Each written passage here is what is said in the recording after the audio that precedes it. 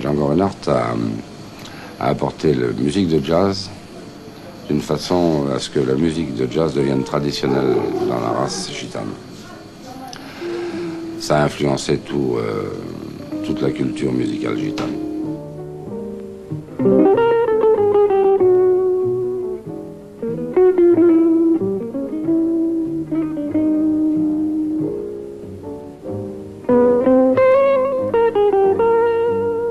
Était né à Liverchy, près de Charleroi, le 23 janvier 1910, au hasard d'une tournée de comédiens ambulants dont sa mère faisait partie. Il appartenait à ce peuple qui vole les poules aux hommes et l'avenir à Dieu.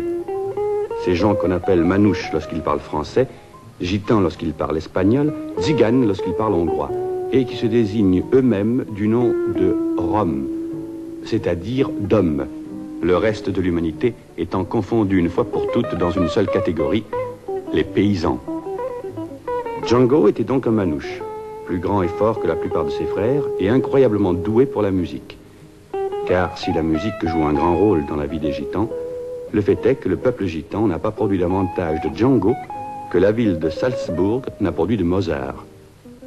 À 17 ans, le manouche Django, qui avait appris tout seul à jouer de la guitare, enlevait une belle jeune fille de son voisinage et l'ayant gardée en état d'enlèvement le nombre de jours fixés par la tradition, en devenait l'époux aux yeux de son peuple.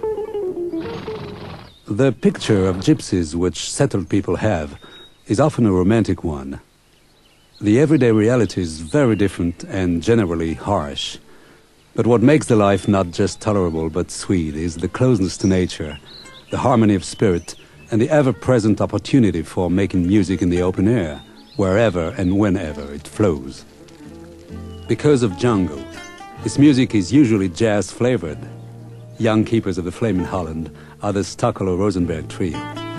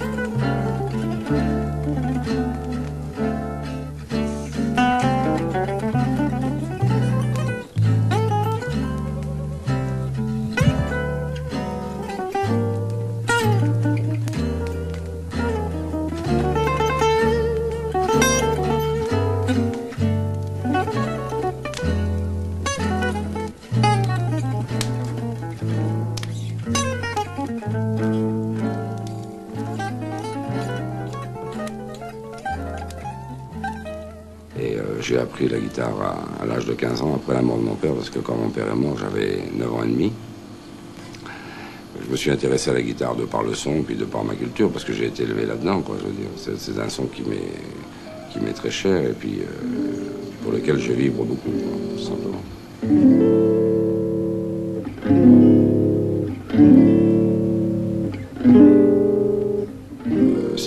C'est à partir du moment où on, a assez de force dans les mains pour, pour, pour pouvoir sortir un son d'une guitare, c'est difficile et il faut.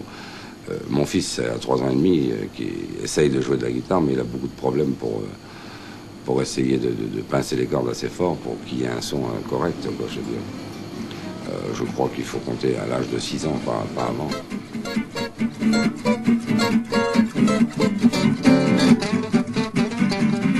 For gypsy boys like Sonny, Falco, and Jimmy, the music of their elders is already fully absorbed, but their musical ambitions often outstrip what the young fingers not yet fully grown can deliver.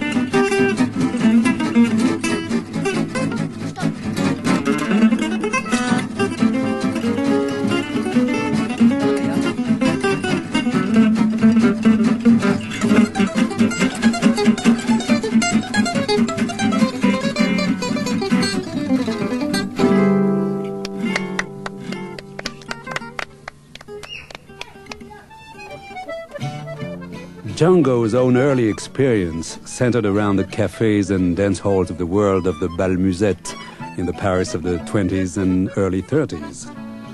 By adapting to the guitar the rippling techniques common to the accordion, Django found a key element in what was to become his own highly original guitar style.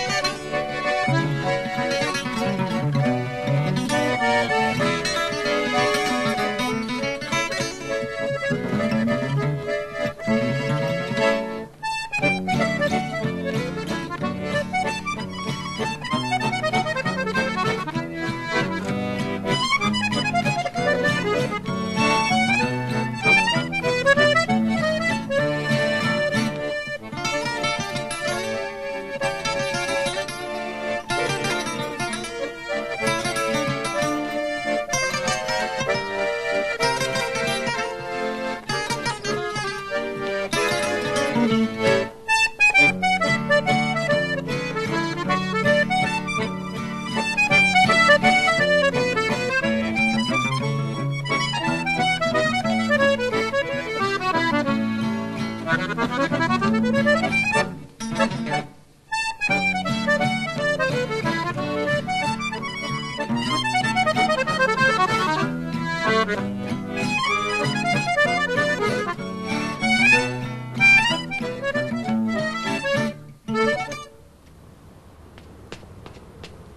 the mid-1930s, the quintet of the Hot Club of France, led by Django and violinist Stéphane Grappelli, had introduced a unique string sound into jazz. Django radically changed the direction of jazz guitar, but his own career almost came to an end when at the age of 18 he was involved in a fire. Sans doute les talismans n'étaient-ils pas assez forts? Le 2 novembre 1928, en allumant une bougie parmi les fleurs en celluloïde préparées par sa femme pour être vendues le lendemain au cimetière, Django met le feu à la roulotte. Sauvé par miracle, il en sort affreusement brûlé, et la main gauche si déformée que la guitare lui semble interdite pour toujours. Mais c'est indolent, ce fantasque a un terrain de volonté, la musique. Et pour elle, patiemment, Django se réinvente une main. Bah, je crois que Django, euh, pour nous, je crois, c'est pour nous guitaristes en général, je crois que c'est un, c'est un gourou. C'est un maître à penser.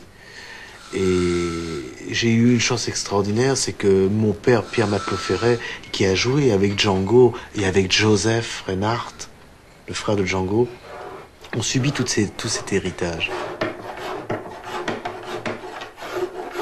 Et nous, qu'on suit derrière, on a écouté tout le temps Django. Et je veux dire que c'est important pour nous, ça fait partie de notre histoire, de notre culture et de notre mode, notre mode de vie. In this workshop, Jacques Favino and his son have been making acoustic guitars for the last 35 years. Nearly half of their customers have been gypsies, among them Boulou and Elios Ferré.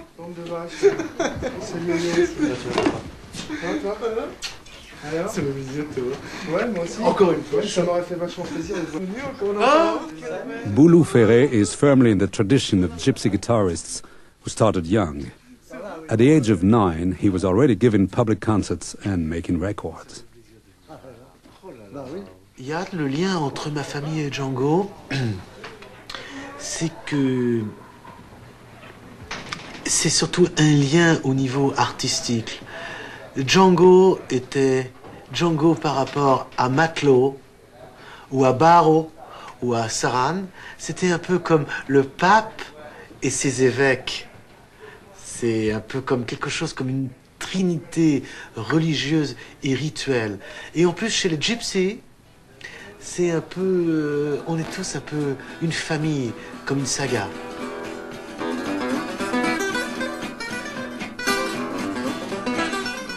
Je crois que la valse est un peu. En Italie et en France, dans tous les pays d'Europe, c'est un peu ce que j'appelle le bebop le bebop à trois temps. Et à partir de Django Reinhardt et de Pierre Barreau Ferret, qui ont été les créateurs du bebop à trois temps, ça a ouvert une, brèche énorme dans la musique.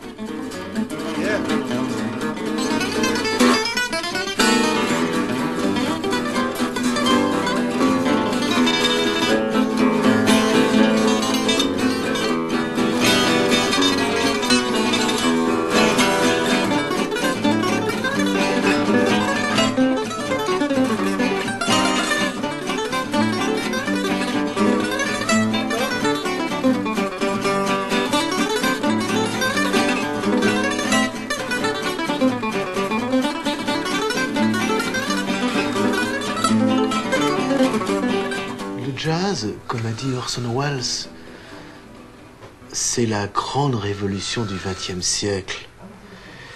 Et bon, des gens comme Duke Ellington ou Basie ou Django Reinhardt, tous les grands musiciens de jazz ont été quelque part influencés par la, grande musique classique. Euh, pour parler euh, spécialement de Django Reinhardt, Django écoutait beaucoup de Bussy, et beaucoup Ravel et Gabriel Fauré. Et il y a une chose que je voudrais dire par rapport à la musique de jazz et à la musique classique dans Autumn Leave. La mineur 7, G minor, G 70, Fa dièse, mineur 70. Si septième et mi. It's okay. De manière classique. It's okay? Classique.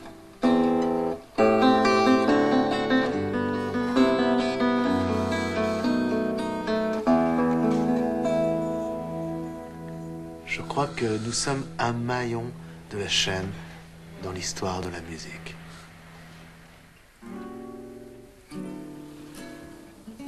Liverpool is the location for yet another example of the Django legacy. Musically, the city has other associations, but the housing estate of Huyton has been host to a remarkable young guitarist in the Django tradition, Gary Potter.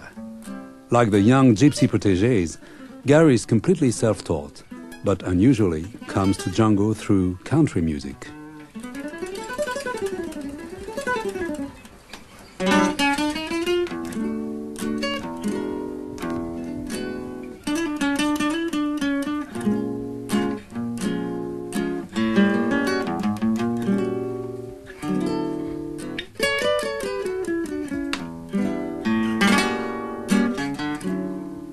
I started playing when I was 11, and the year after, when I was 12, I was actually in a band.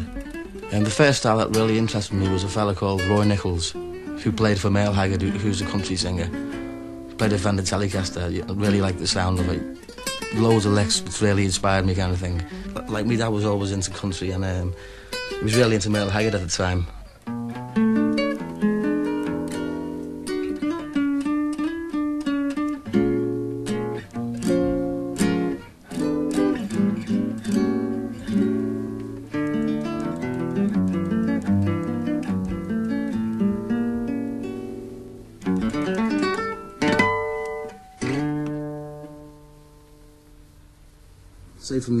13 to 18, I used to practice from 8 to 10 hours a day.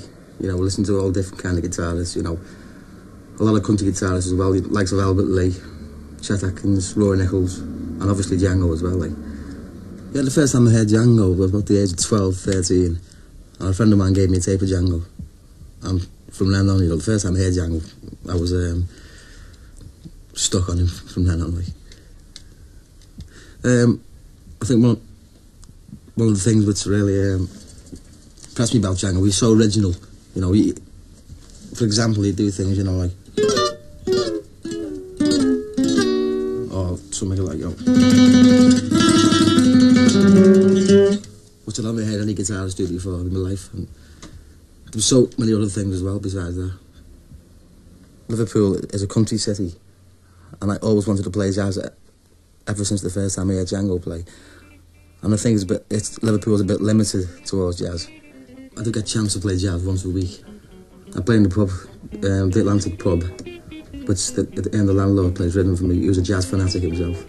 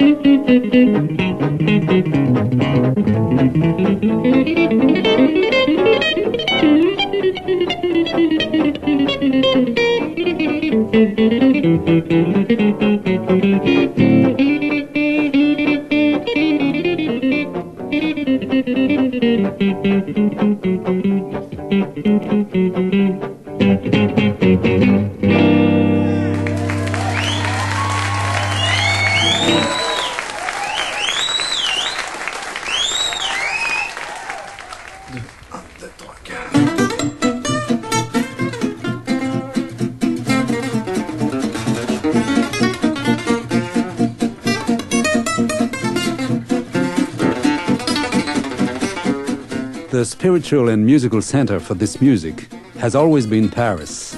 And several generations after Django, it still produces remarkable talents in the tradition. For Serge Krief and his partner Richard Chiche, both born of Jewish Tunisian parents, this mainly gypsy tradition finds an echo in the fire and intensity of their playing.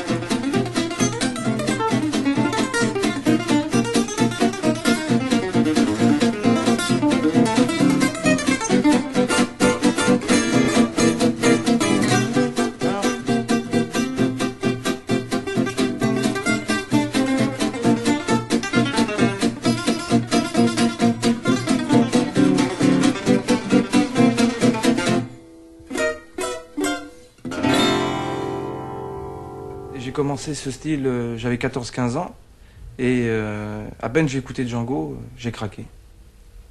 J'ai choisi ce style parce que j'ai craqué comme ça.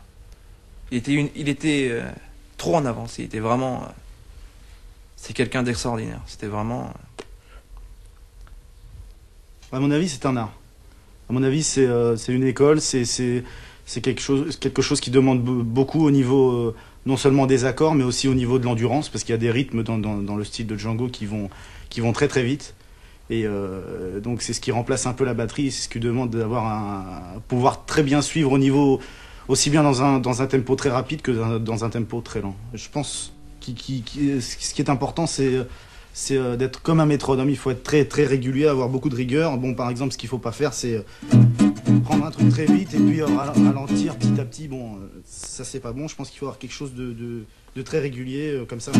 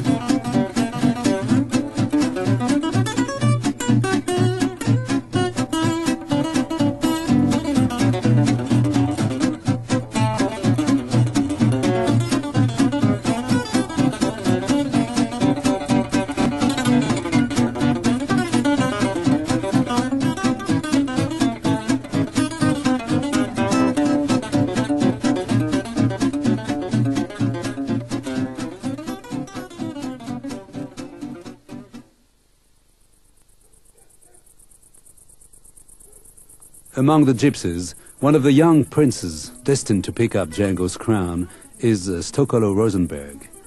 His pure style and sweet tone are very reminiscent of Django himself.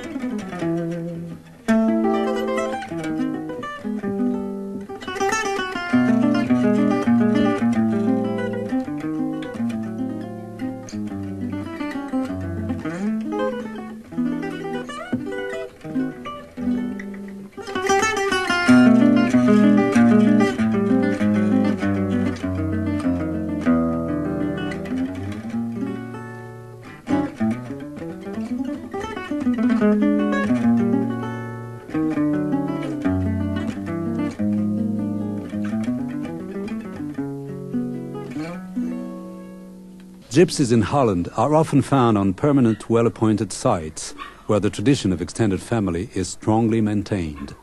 Here, the traveling way of life has largely vanished, but the important traditions remain, especially music making.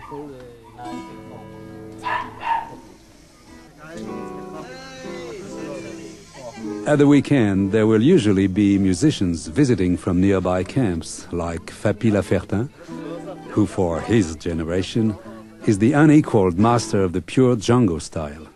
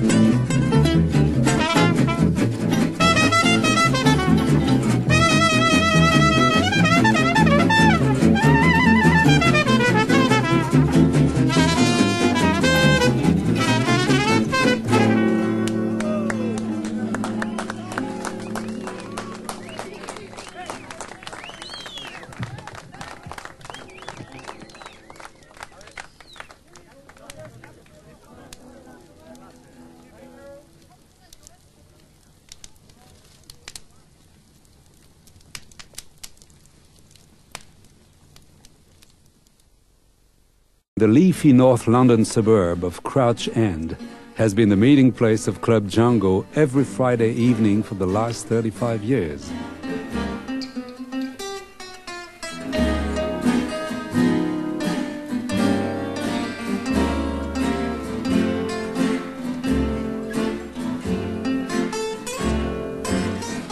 Its members play purely for their own pleasure.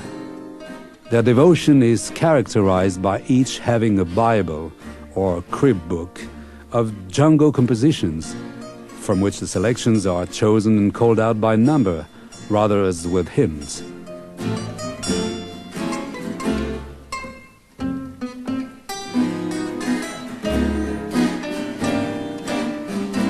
At 9.20, Nuages is played.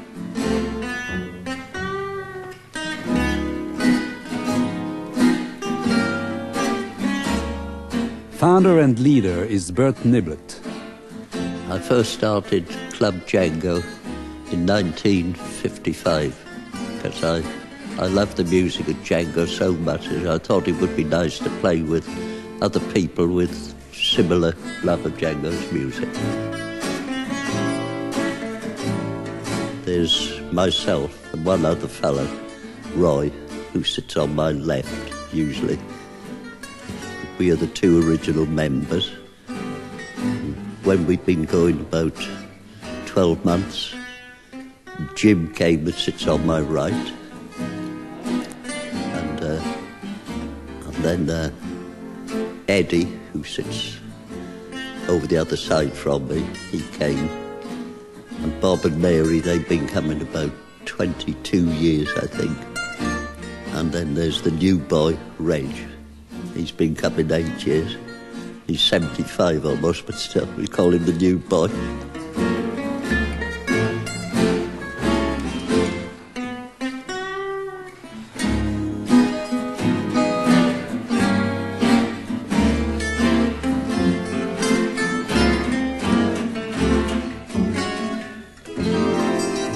I saw Django first at the Brixton Empire. That was in 1938. And I, I went round to the stage door and asked uh, Django and Stéphane Grappelli for their autographs. It was a marvellous way that he improvised, the beautiful tone he always got.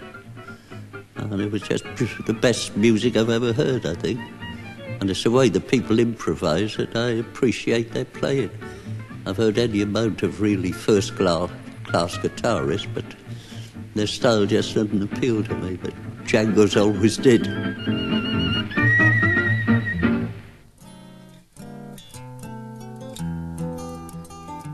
Django's final years were spent in Samois, which now holds an annual festival in his honor. For one weekend in June, the village is en fête to guitarists, gypsies, jazz lovers, and those who just come to pay their respects. If you're a guitarist, it's important to do well here. And if you're also a gypsy, especially so.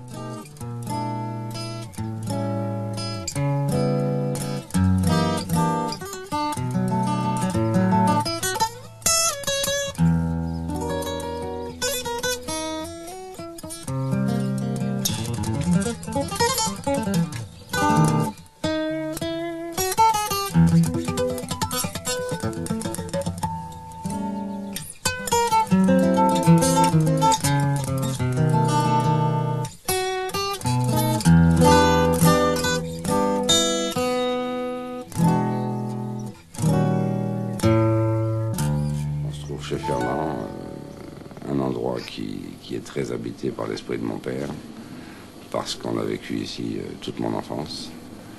Il était très ami ici avec euh, Fernand, le père de Michel Vazy. Et euh, c'est un endroit, c'est un peu le temple de, la musique de Django Reinhardt, parce que depuis, sa mort, chaque année, et, aussi souvent qu'on le peut, on est là pour, mémoriser la, la musique de Django Reinhardt moi et mes amis, les amis de mon père, etc. Et tous les admirateurs.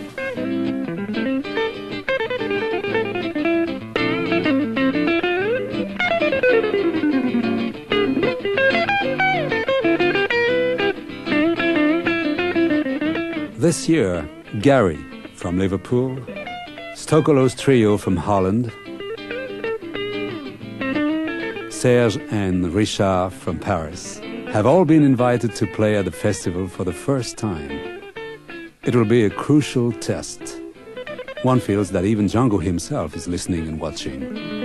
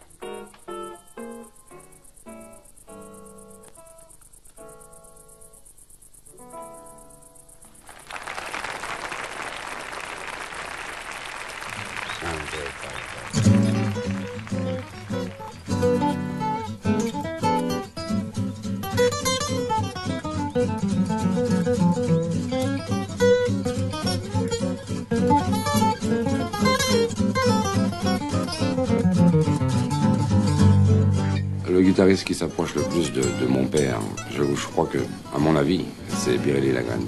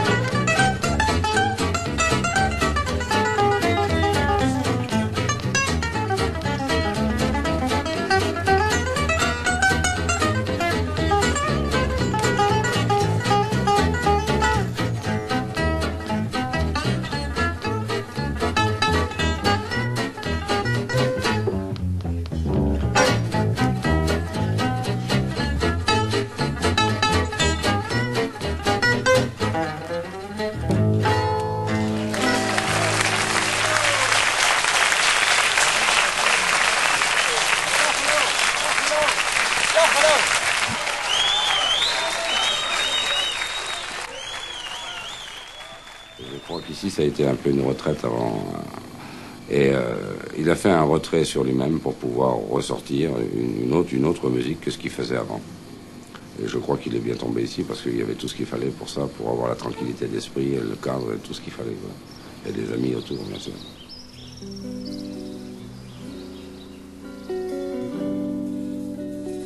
Babik is following his own musical path, but retains his father's gift for composing and playing slow-burning themes.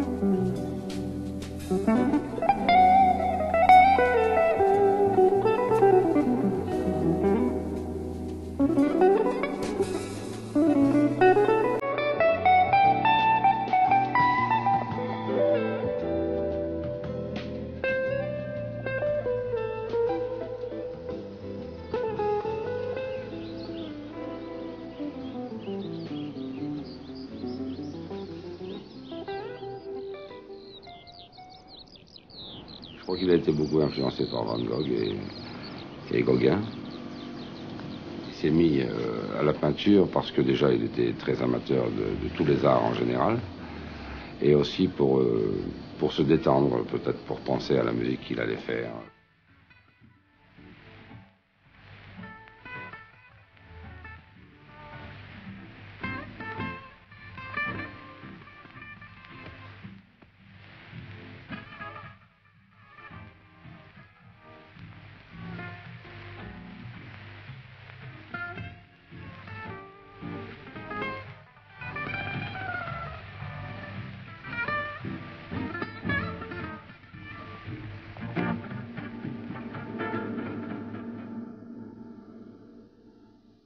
In June 1953, outside Chez Fernand, Django suffered a fatal stroke. He was 43. He remains Europe's greatest contributor to an otherwise American art form, and the greatest single influence in the history of jazz guitar. Among gypsies, he is revered above all others. The graveyard at Samois is his final resting place, a resting place too for his people who return here each year to remember, to honor, and to play.